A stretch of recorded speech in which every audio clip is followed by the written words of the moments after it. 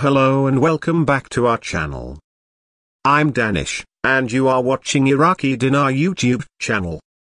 Hopefully you all will be fine let's start today. For some time now, the topic of Iraq aligning with international standards has been making waves. The Central Bank of Iraq, CBI, has frequently referenced these standards, sparking optimism and speculation that the country is on the cusp of joining the global financial community. Many are hopeful that this shift signifies Iraq's readiness to reintegrate into the world economy, which would be a significant leap forward in its post-war recovery and reform process.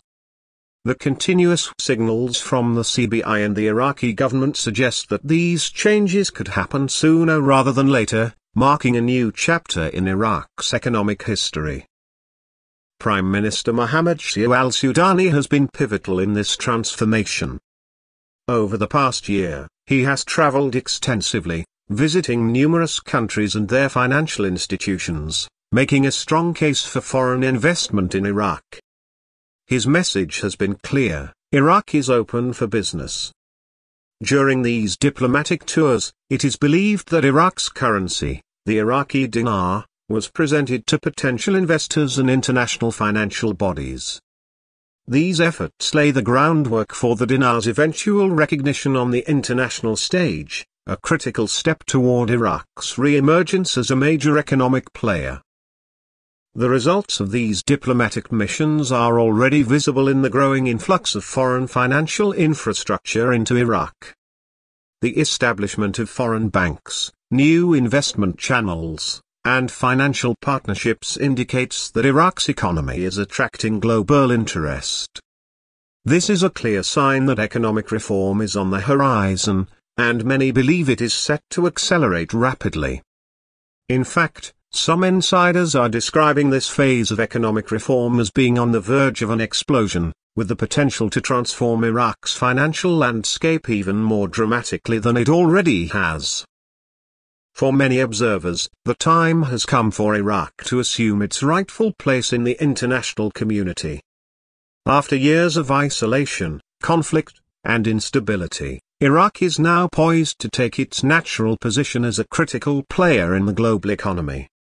This sentiment resonates deeply with those who have followed Iraq's progress, and there is a palpable sense of anticipation as the country edges closer to its international reintegration. The recent return of Prime Minister al-Sudani to Baghdad after his participation in the United Nations General Assembly meetings in New York has only fueled this anticipation. Al-Sudani's attendance at the UN was more than just symbolic it represented a key moment for Iraq on the global stage. His speech at the General Assembly highlighted Iraq's progress, while his sideline meetings with world leaders and global financial players were strategic in advancing Iraq's international agenda. Now that al-Sudani has completed this high-profile diplomatic engagement, Many believe that the stage is set for Iraq's full international re-emergence. Some insiders speculate that significant developments could occur at any moment, given that al-Sudani has returned home after what some are calling his victory lap on the global stage. He has made it clear to the world that Iraq is restored and ready to operate as a fully functioning member of the international financial system. The results of these efforts could be realized sooner than many expect, and some believe that major announcements could come as early as this weekend. With Iraq's leadership signaling that the country is ready to rejoin the global economy, all eyes are now on Baghdad. At the heart of Iraq's economic future are discussions about economic confidence, consumption, and investment. These are the pillars of any successful economy and Iraq is no exception. However, the current exchange rate of the Iraqi dinar, which stands at 1,310 dinars per US dollar, has raised some doubts about whether Iraq is ready to instill global confidence at this level. Critics point out that Iraq has fluctuated between several exchange rates over the years, ranging from 1,310 to 1,180, 1166, 1182, 1,460 dinars per US dollar, and none of these rates have yet led to Iraq's full inclusion in the international foreign exchange markets. Iraq's participation in global forex trading is seen as a critical milestone, and until this happens, some remain skeptical about the country's economic outlook. One of the most discussed topics in recent weeks has been the removal of the three zeros from the Iraqi dinar. This initiative, which aims to restructure Iraq's currency and strengthen its value, has been a topic of conversation for years. However, in the past five days, this discussion has intensified with daily coverage and speculation about the timing and implications of the reform. The reality is that this conversation has been ongoing for months, if not longer. What has changed is the frequency with which it is now being addressed, indicating that the CBI and the government may be preparing to take concrete action. A key piece of information that has emerged recently comes from a reliable source within the CBI.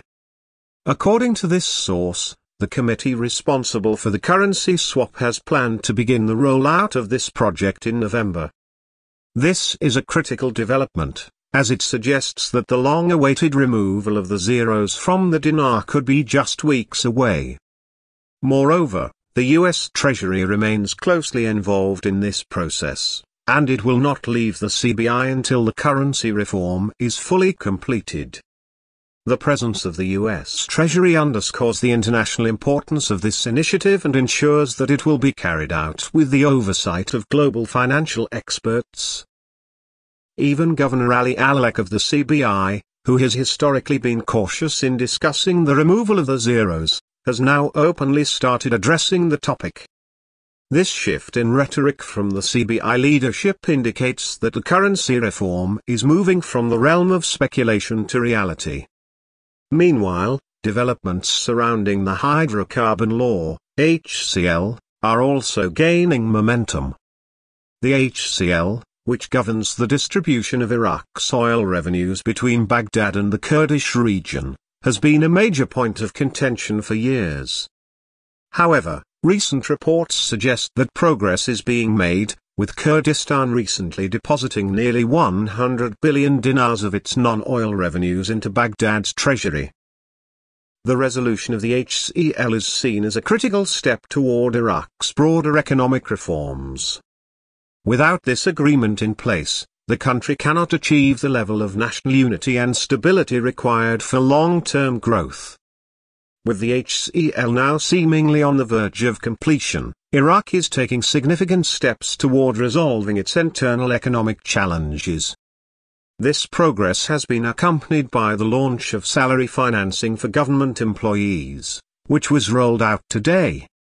This initiative ensures that Iraq's workforce is being paid on time and that the government's financial infrastructure is operating smoothly.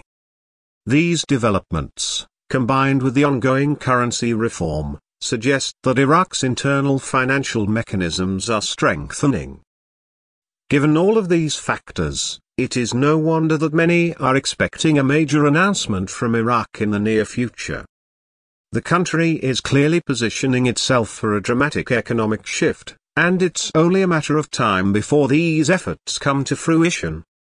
Those who have been closely following Iraq's economic reform process are on high alert waiting for the news that the country has finally completed its currency restructuring and fully re-entered the global financial system.